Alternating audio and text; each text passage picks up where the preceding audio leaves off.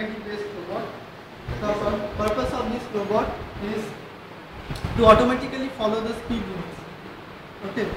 So what happens is that we will first uh, read these four tags one by one in this RFID card, and then uh, we will put put down these cards on the road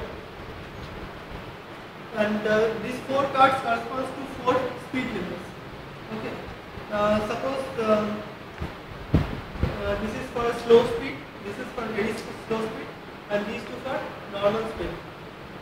When the robot will encounter this tag, its speed will get down, and when it will encounter this tag, its speed will go up again. So the utility is that uh, we will automate the speed limit system uh, in the roads um, through this RFID.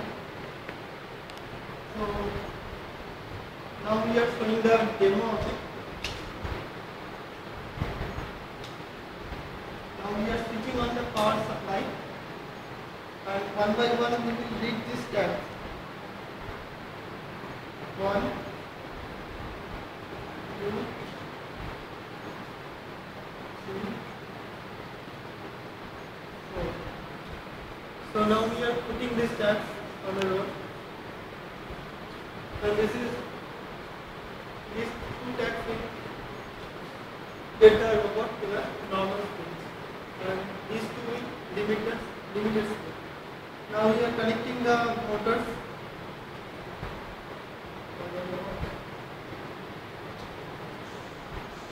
If the robot is going at a normal speed and when, when it will encounter this tag, its speed will go down to a certain speed limit. Look, its speed goes down and now when it will encounter this tag, the speed again rises.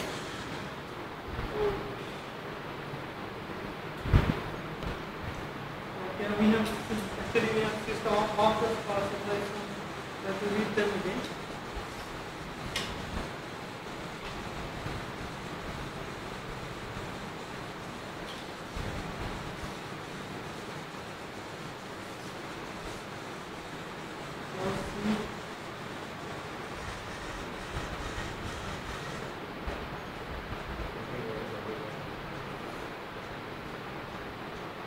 It will again increase its speed leading this tag and it increase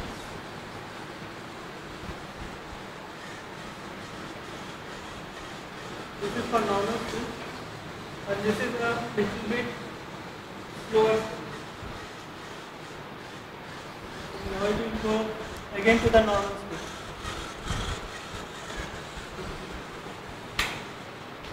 thank you for seeing